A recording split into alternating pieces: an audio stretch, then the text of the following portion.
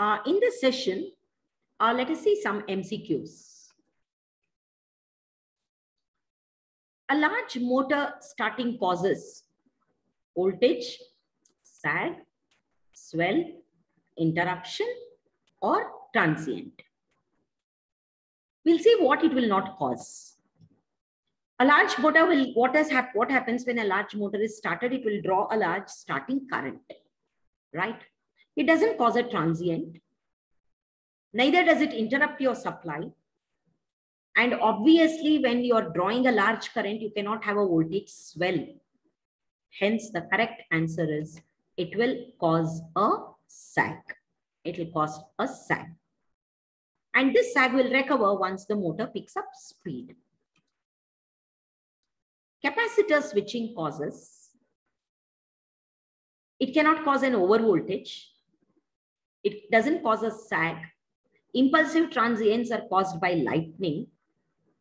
So capacitor switching causes oscillatory transients. In fact, capacitor switching is the main source of oscillatory transients in the network.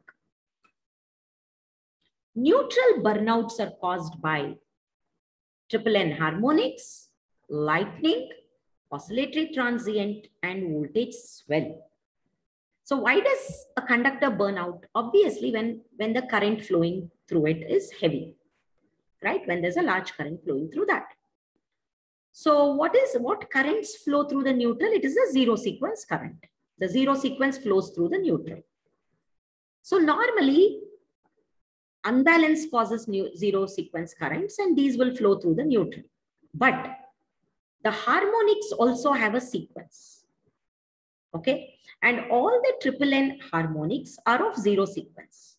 Therefore, the triplen harmonics will flow through the neutral. And hence neutral burnouts are caused by triplen harmonics. Okay, that's the correct answer welding equipment. So what happens whenever there is welding done, there is a rapid fluctuation of the voltage. So that causes flicker. In fact, welding is one of the main causes for flicker. So flicker is how the light intensity is perceived by the eye. The voltage will be within the limit only. So it is neither a sag nor a swell, but the variation is rapid and this will cause an irritation to the eye in the form of flicker. The most harmful harmonic currents. So all harmonic currents are harmful, right? They're not intended. The system is not designed for harmonic.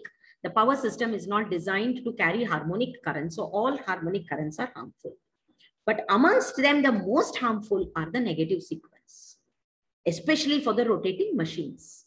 See, the flux produced by the negative sequence will be having double the slip compared to the flux produced with respect to the flux produced by the positive sequence current.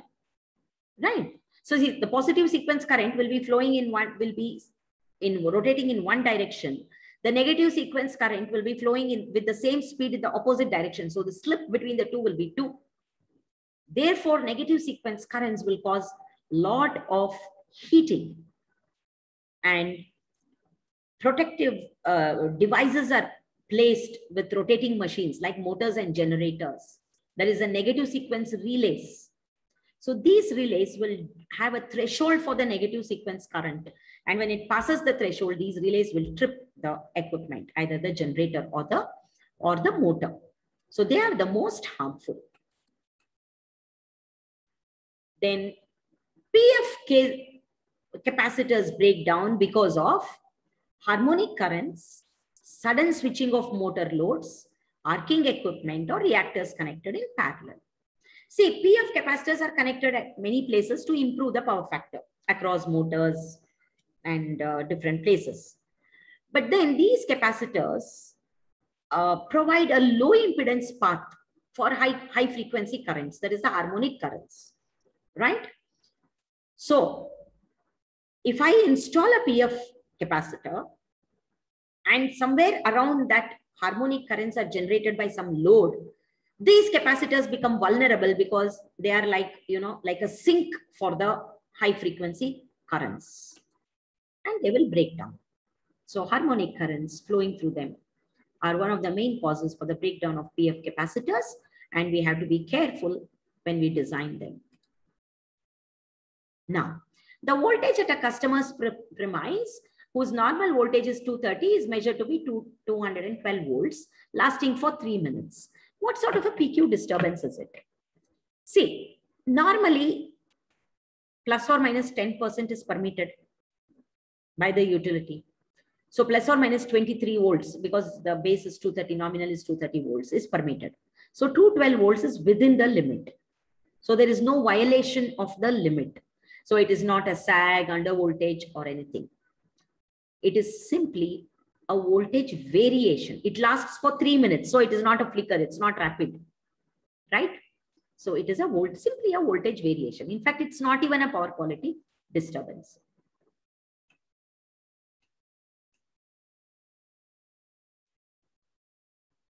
There is a sudden loss of load. What is the most probable PQ problem that can occur? So when, when there's a loss of load, there can't be a sag because the current will reduce when the load is thrown off.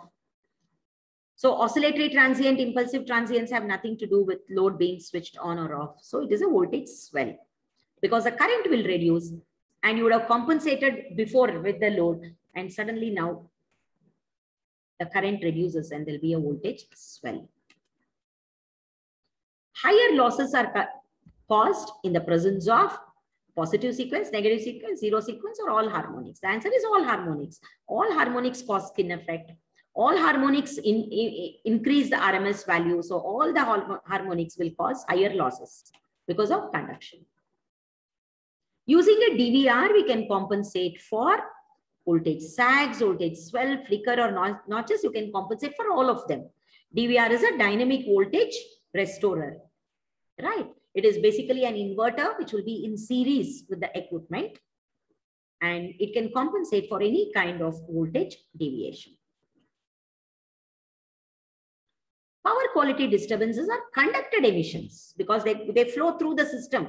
They need a conducting medium, low frequency, na, power quality, they'll need a conducting medium and they're all conducted emissions. Oh, it's the same question repeated. Mm -hmm. A healthy feeder experiences a voltage sag. So there is no fault on the feeder, but still it experiences a sag.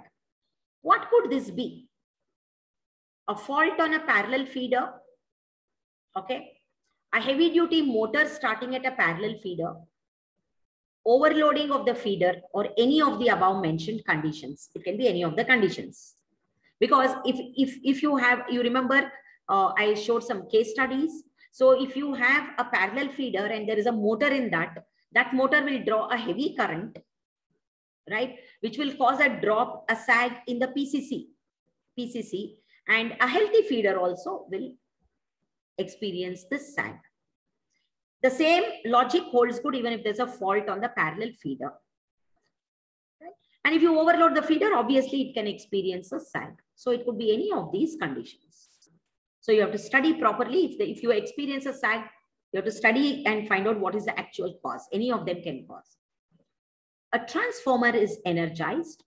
So the most probable PQ disturbance it can cause is an oscillatory transient. So whenever transformers or capacitors are energized, they cause oscillatory transients because you will have a second order RLC circuit. You know, you have capacitors in the line then you have inductance of the windings, resistance. So all these will cause uh, an RLC circuit and will you can end up with an oscillatory transient.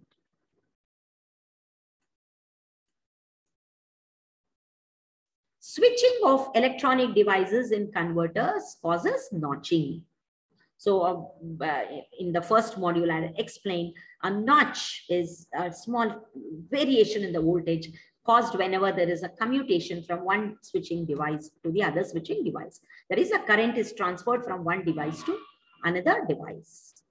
Shunt capacitors are used to improve power factor, to uh, improve power transfer, reduce impulsive transient or oscillatory transient. They are used to improve power factor. Arc furnaces predominantly cause voltage sag, notching, flicker, or voltage swell. They cause flicker along with welding equipment. So these are some uh, quick MCQs which would be helpful for you if you're uh, preparing for some uh,